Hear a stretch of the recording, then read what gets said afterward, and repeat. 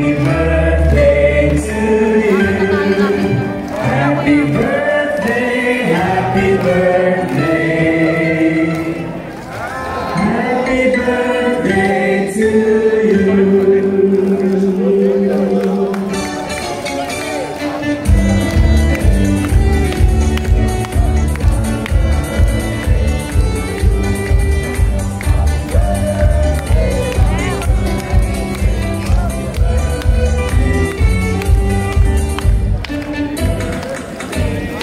And at this moment, ladies and gentlemen, let us all give a round of applause